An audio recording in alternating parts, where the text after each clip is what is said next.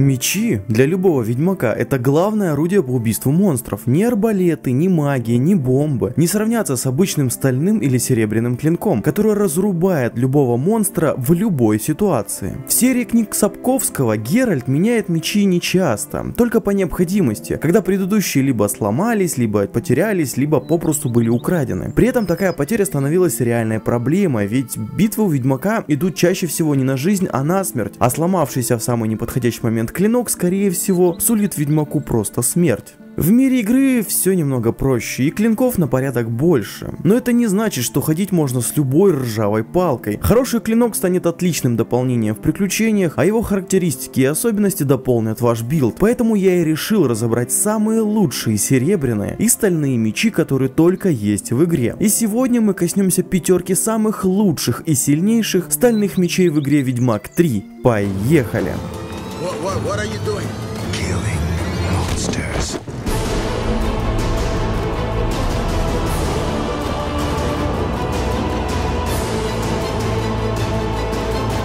Привет, ковбой, с вами Войс Ребус и просто канал об играх. Стальные мечи это мечи, которые Ведьмак использует против обычных, не магических существ. В игре это только люди и звери. Им он наносит свой полный урон. А вот против магических чудовищ практически бесполезен, нанося, дай бог, если десятую часть своего урона. И несмотря на то, что разновидностей магических тварей куда больше, чем обычных, стальной меч не менее ценен, чем серебряный. Особенно, когда путь тебе преграждает небольшая банда бандитов предметов. Но давайте уже к делу. Всего я отобрал 17 прекрасных мечей, часть из которых мы рассмотрим вне топа, а часть является скорее более слабой альтернативой основному клинку. Первым делом, вне топа, я хочу выделить самый необычный вид стального атакующего оружия. Это лопата ключника. Получаем мы ее в дополнении каменные сердца по сюжету. Это единственное в игре оружие, которое обладает эффектом возврата хп само по себе. И если быть точным, возвращает оно 10% от нанесенного урона. Правда, на этом ее особенные свойства заканчиваются. Это оружие нельзя улучшить у мастера рун, оно обладает посредственным уроном, и это гребаная лопата, поэтому я ее и не включил в топ. Вы когда-нибудь видели ведьмака с лопатой?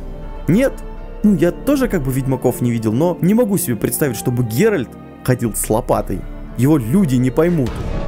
Ну а первым в топе я хочу выделить сразу два клинка. Практически братьев-близнецов вампирского мира. Стальной меч из Тесхам Мутны, который мы находим по квесту с Регисом в крепости Тесхам Мутны, и его собрат Стальной меч из Хэнгайд. Это два прекрасно и даже идеально выполненных с визуальной точки зрения клинка в двух разных расцветках. Черным, словно безлунная ночь, и кроваво-красным. Их дополнительные характеристики зеркальные и крайне хороши, разве что атаку у меча из Хэнгайд немного выше. Оба клинка являются частью вампирских доспехов, которые умеют восстанавливать хп от нанесенного урона. Мне эти клинки нравятся именно своим внешним видом, поэтому вы часто видите в роликах Геральта именно с ними.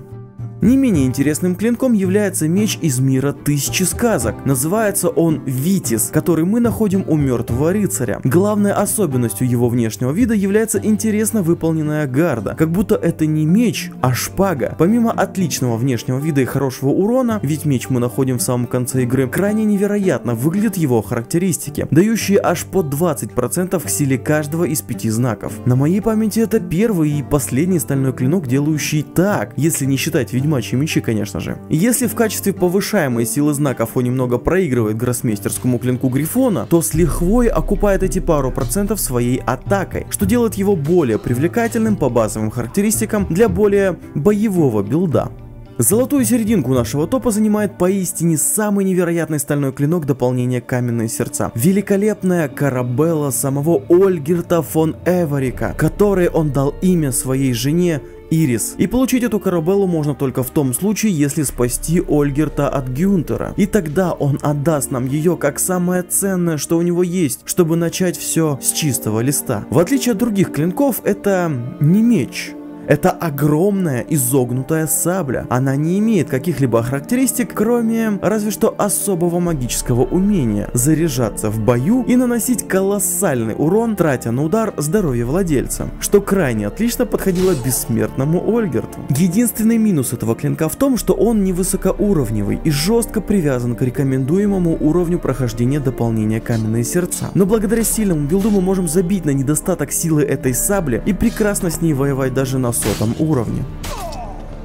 Осталось два места, два клинка. Это два самых сильнейших меча, среди которых я так и не нашел себе тот, которому я бы отдал сердце и душу целиком. Ведь у каждого есть свои преимущества. Но перед тем, как мы перейдем к ним, еще одно отступление на необычные клинки. Помимо классических статов на повышение силы и шанса крита, пробивание брони, отравление, кровотечение и кучу других характеристик, существуют и довольно редкие. Они специфичные и обычно мечи с такими характеристиками сами по себе не применяются, разве что дополняют дополняя и усиливая определенные билды. Таким клинком может стать, например, меч рыцарей Пылающие Розы, который помимо прочих плюшек увеличивает шанс убить на месте на 3%, что идеально подходит для усиления моего билда Ван Пачмена и навыка Смертельная Точность. Кроме того, он же отлично подходит и для билда с использованием Аксия, ведь одна из главных фишек Аксия это увеличенный шанс мгновенного расчленения противников в состоянии стана, конечно же, сопровождающийся мгновенным убийством. Кстати, существует клинок клинок, дающий плюс 10% к этому параметру. Также существуют мечи, дающие прибавку к получаемому золоту. Не знаю зачем это. Но вот, например, меч Волк, который, вероятно, разжигает тягу к золоту у любого ведьмака, попутно увеличивая его количество. Отлично работает меч Зимний Клинок, который имеет редкое свойство урона холодом, в совокупности с шансом вызвать заморозку. Один из самых удивительных в игре мечей это клинок из Тир Тохаир, который дает 35% boost к шансу вызвать кровотечения. Все остальные клинки дают максимум 10-15%. Одно из главных свойств клинков это увеличение силы критического урона. Сильнейшим среди мечей в этой характеристике является меч Хьялмара, который дает плюс 166% к силе критического урона, что на 66% выше, чем у самого сильного клинка. Жаль, что его можно достать только консолью, а потому я лишь упоминаю о нем. Но вернемся ко второму месту. Это был сложный выбор, но второе место занимает занимает именно он. Клинок хорошо знакомый всем, кто со мной уже давно. Стальной меч Тусенского рыцаря. И без тени сомнений я назову этот клинок сильнейшим среди всех возможных стальных мечей в этой игре. Если вас заботит максимальная сила и ваша стихия это фехтование, то этот клинок то, что вам нужно. Тут даже раздумывать не стоит. У него максимальный в этой игре прирост к силе крита в 100%, максимальный прирост к шансу крита 20%. У него 30% boost к мощи Квена, что выше, чем у сетового клинка легендарного гроссмейстерского грифона. При этом он игнорирует 300 единиц брони, что неплохо, учитывая уровень.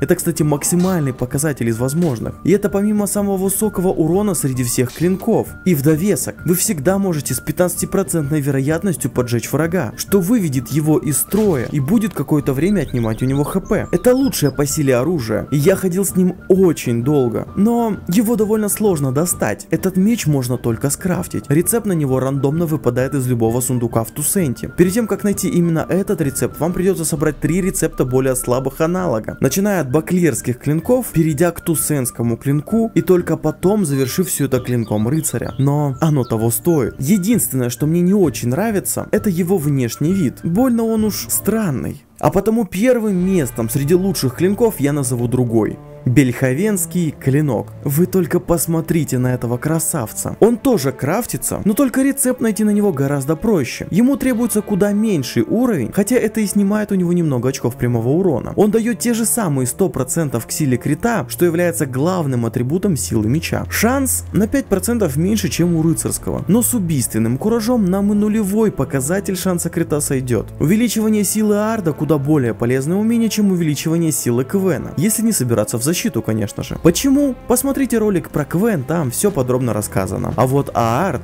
может быть гораздо полезнее. Про него, кстати, тоже недавно вышел ролик. Отравление или поджигание? Ну, если играть на крит эффектов, то имха отравление эффективнее. Хотя я и не уверен. Подробный тест будет скоро, там и посмотрим. Ну и кроме того, этот клинок, так же как и клинок Тусенского рыцаря, имеет младших братьев, наперстник и клинок Фарамона, которые не намного слабее Бельховенского, в отличие от баклеровской разновидности Тусенского. И самое главное, внешне он гораздо круче и брутальнее, чем клинок Тусенского рыцаря. А значит в это мгновение я присуждаю ему звание лучшего стального клинка в Ведьмак 3. И так как я пообещал в скором времени пересобрать свой идеально сильнейший build, это этот клинок станет мне в этом спутником. Героем этого видео стал Алексей, анонимный Алексей, который, простите за тавтологию, попросил остаться анонимным. Практически мой земляк и дважды герой видео, которому я обещал build на кота. Спасибо тебе за помощь, кот уже практически в процессе. Также хочу напомнить, что помочь каналу и стать героем видео может каждый из вас. Ссылка в описании. Да и вообще, заглядывайте в описание почаще, там вы всегда найдете актуальное описание, название песенок и ссылки на ролики, которые использовались или упоминались в видео, а также несколько очень полезных ссылок на объясняющие и рассказывающие о важном ролике. А на этом все, ребята, спасибо за просмотр, надеюсь вам понравилось видео, а значит оно заслужило лайк, а я подписку на канал. Если вы уже подписались, то не забудьте включить уведомления о выходе новых видео, нажав на колокольчик, и тогда вы точно будете первым и ничего не пропустите. Напишите, какой из мечей на ваш взгляд самый лучший, может быть он будет не из моего списка. Ну а учитывая, что сегодня были стальные мечи, скоро будут и серебряные. Но следующий ролик будет не о них, а о новом противостоянии. Каком, узнаете буквально на днях. Увидимся в новом видео и на этом пока. Всем пока-пока.